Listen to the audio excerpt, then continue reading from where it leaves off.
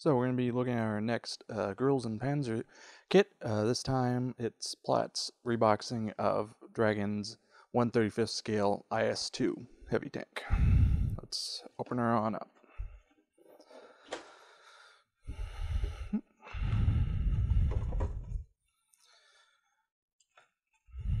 So starting off with the sprue containing the suspension and wheels, um, everything's very cleanly cast. Um, a lot of little handholds that will be a little bit of a challenge to cut out, though, as I've personally found on a lot of these kits that these handholds really do not hold up. So you may want to uh, have some wire standing by to potentially replace them if need be. You know. Uh, other than that, though, casting is great for all, the suspension parts. Um, a lot of wheels on this kit. Nice large drive wheel as well. Uh, continuing on, we've got our main gun. Uh, cast as two halves. Uh, no metal barrel with this release, unfortunately, but it still holds up. Um, part of the cupola for the commander's turret, hatches, and couple other odd and end parts, as well as the aft machine gun. Next up, we've got our main turret. Um, this particular copy had a little bit of bad casting here. Um, easy enough to clean up, though. Uh, turret has some very nicely done uh, casting um, simulation on it. Uh, you've got two different mantle options uh, for this particular kit using this pair. Are all nicely done for the turret. Uh, next up, we've got our upper hull. Uh, unfortunately, it popped off from the main sprue that it's attached to. Uh, much the same as the turret, the casting is very nicely done. And overall, has a great look to it. Uh, underside suspension, nicely detailed. Uh, can't say much more here as it's your standard underside suspension. Now, the rest of that sprue that I mentioned that the upper hold popped off of.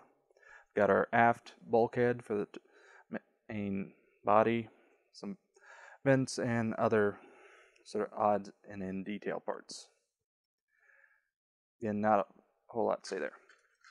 Now, an interesting about this kit is that it does include these tra- new tracks from Dragon. If I can get pair of them out that are basically snapped together and should be good to go, as they're supposedly easier to work with.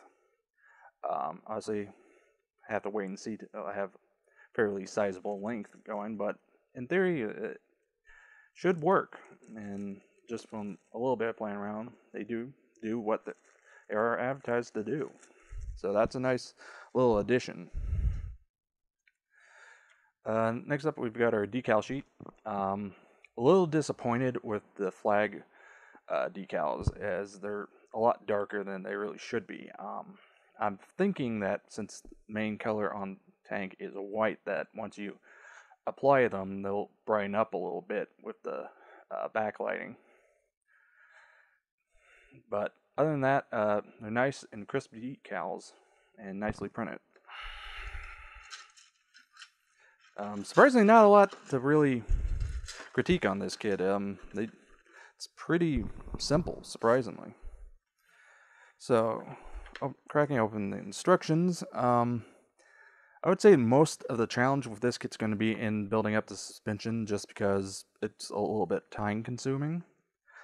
But surprisingly, other than dealing with a lot of smaller parts, it's a pretty straightforward and easy build, uh, which is quite nice. Um, one exception as well, though, being right here. Um, they want you to cut open for the uh, spare track links these little teeth marks. Now, this is something uh, you would have thought they would have um, cast into the upper surface just to make it simpler to use. Obviously, I think they did it so you have the option of whether or not you're going to go with them.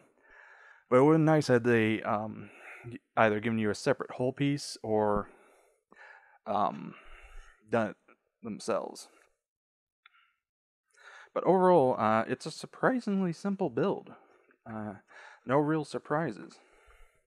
Uh, only options for a single paint scheme, uh, which is a little disappointing because I do know uh, with the release of the movie they do have IS2 in a sort of uh, the sort of summer summer color. Excuse me, summer camouflage version, which is basically an overall green, Russian green color. And since this kit was released post that, I you would have thought they had given you the at least the paint call out option for that. So overall, um, they did a good job with this kit. It's surprisingly simple and should be a fun, quick, relatively quick and painless build. So that was a look at uh, Platz's reboxing of Dragon's 135th scale IS2 in Girls und Panzer markings. Until next time.